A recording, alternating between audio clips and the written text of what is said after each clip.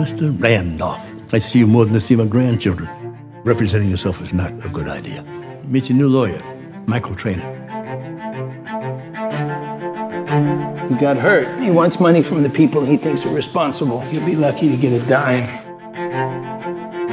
Why do I have to have you as my lawyer? Your Honor, this is a known corporation versus a kid that looks like a thug.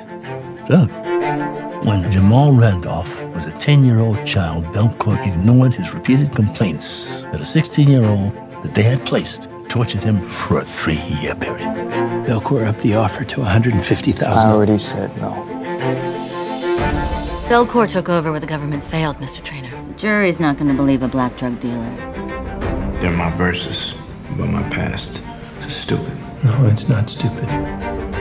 Jamal, you write, don't you?